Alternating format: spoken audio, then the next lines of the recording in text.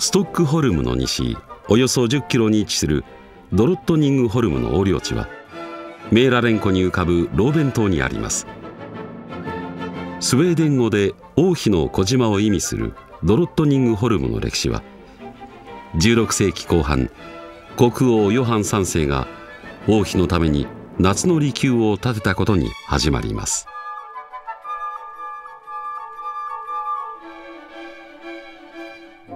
その後フランスからやってきたガルディエ家が所有しましたが1661年スウェーデン王カール10世を亡くしたばかりの王妃ヘドビーグ・エレオノーラによって買い取られました。ところがその年のうちに宮殿は火災に見舞われ完全に焼け落ちてしまいました。その後ドロットニングホルムの王宮は再建され増改築が繰り返されましたが宮殿をはじめ宮廷劇場中国風東屋そして庭園のどれもが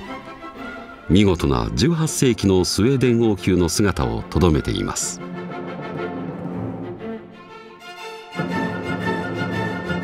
ドロットニングホルム宮殿はその優美な姿から別名北欧のベルサイユと呼ばれます。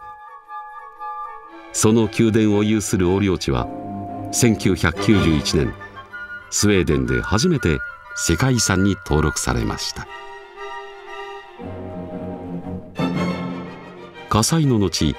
王妃ヘドビーグ・エレオノーラはドロットニングホルム宮殿を再建しました。建設は建築家ニコデムス・テッシンとその息子によって1662年に始められ1700年に完成しました。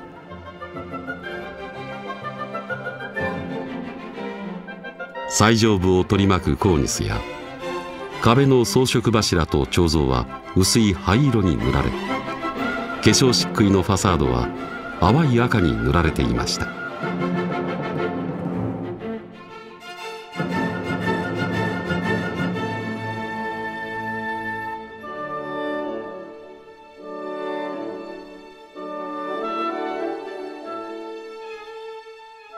1960年代に行われた改修ではファサードには漆喰が塗られ最上部は樹脂のペンキが塗られました。長い間に漆喰やペンキの色合いは変化し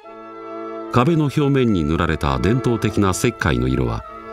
元の色とは違うものに変わってしまいました。また樹脂を成分とするペンキの塗装が深刻な問題を起こしていました。それは水を通さないペンキ層が湿気を含み腐食を起こしていたのです。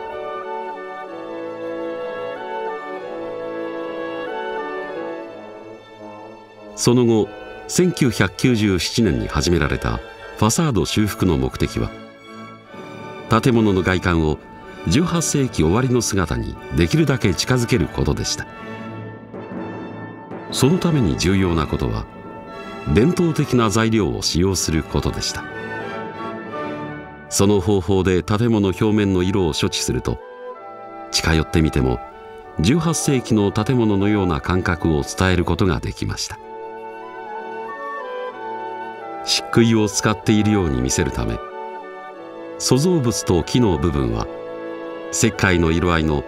アマニ油のペンキで塗られました。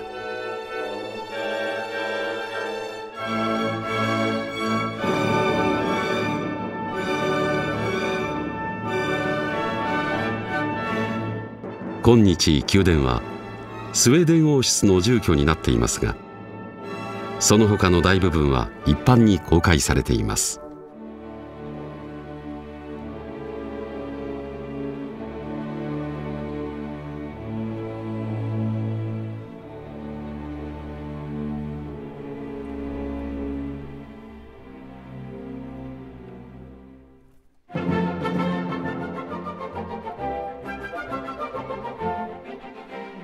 ドロットニングホルムには16世紀のヨハン3世の統治以来桜やリンゴの木が植えられた王宮の庭園があったと言われます。今に残る最も古いバロック式庭園は1600年代の終わりに王妃ヘドビーグ・エレオノーラの主導で鉄心によって造園されました。菩提樹の並木に囲まれたバロック式庭園はその時期最先端のフランスの様式を駆使して作られました。それは宮殿を支点とした軸に左右対称に区画が並ぶ幾何学式庭園とも呼ばれるものでした。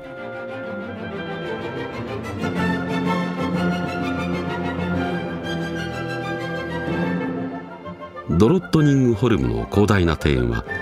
3つの時期に開発されその立地条件に適したバロックロココイギリスの3つの様式で作られました。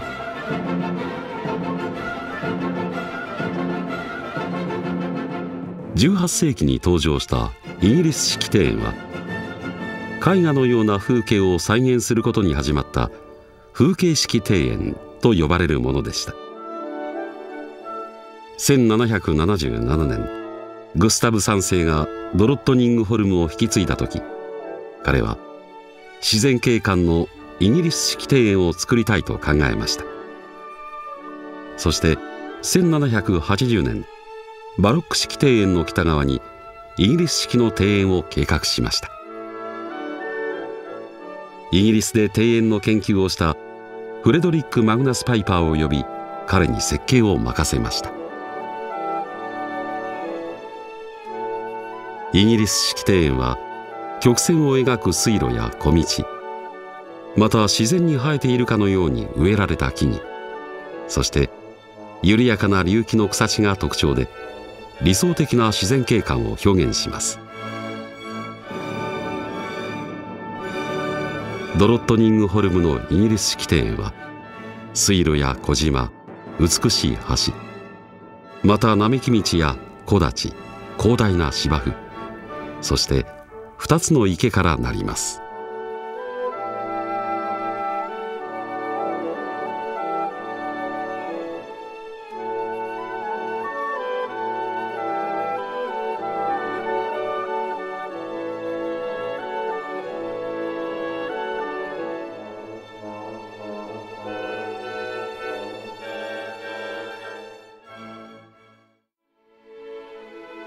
宮廷劇場の飾り気のない美しい外観は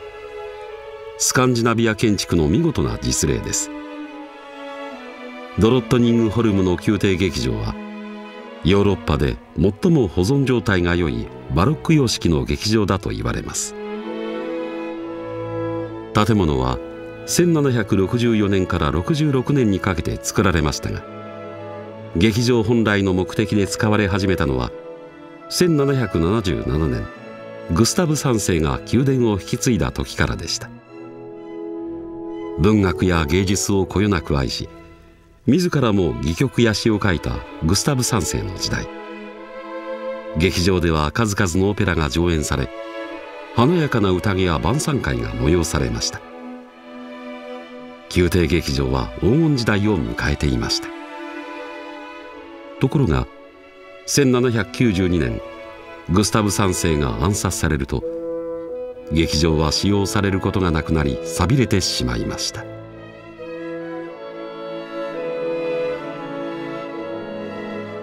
バロック式庭園の一角に立つ中国風東屋は1753年に国王アドルフ・フレデリックから王妃ウルリカに贈られた建物です。その後木造の建物は傷みが激しく1767年に現在のものに建て替えられました。建築様式の基本はロココ様式ですが東洋の要素が取り入れられ異国の雰囲気を漂わせています。当時ヨーロッパの貴族社会では空前の中国ブームが起き中国風の装飾がもてはやされていました。中国風東屋は中国趣味を反映した当時の流行の先端だったのです。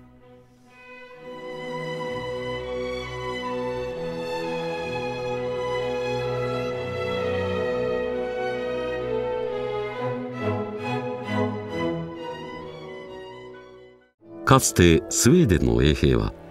王室と町を守り戦争が起きると最も力のある戦力として戦場に向かいました。スウェーデンの衛兵はヨーロッパの中でも古い歴史を持ち彼らはそれを誇りにしています。今日皇太式の行進をする衛兵はスウェーデンの王室と宮殿を警備するスウェーデン軍の部隊です。かつてスウェーデンの国王はストックホルムの王宮に住んでいました。ところが現在の国王カール16世は環境の良いドロットニングホルムを選び1982年に王室の住居を移しました。宮殿を行進する青い制服の衛兵は宮殿に到着すると35分という長い時間をかけて皇太式を行います。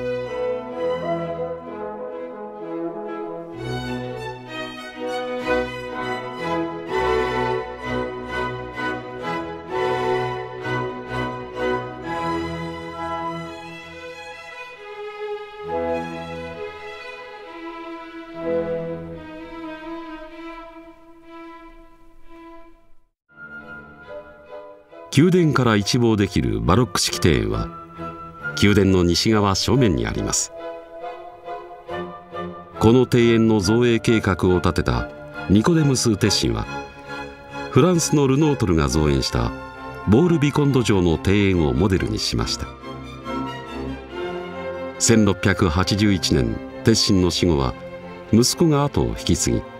ベルサイユ宮殿を参考に完成させました。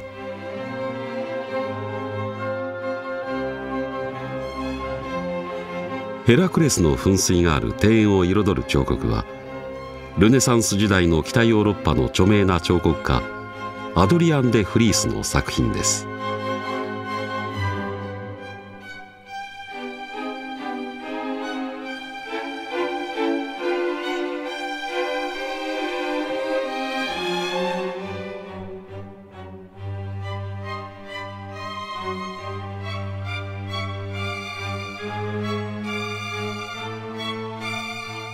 庭園に近づくと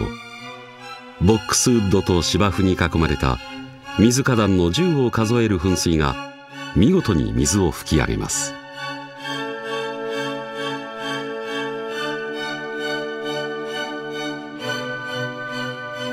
庭園の建設では水花壇や滝を作るために土地を平面化し大掛かりな水利工事が行われました。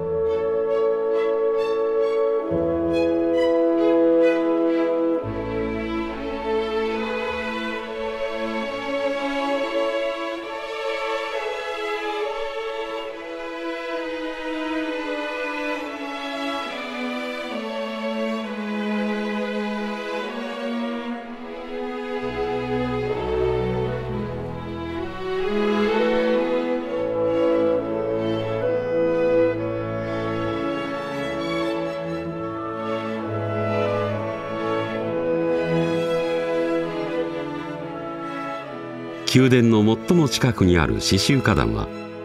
当初植物模様が表現されていました。今日では刺繍花壇は芝生に変えられています。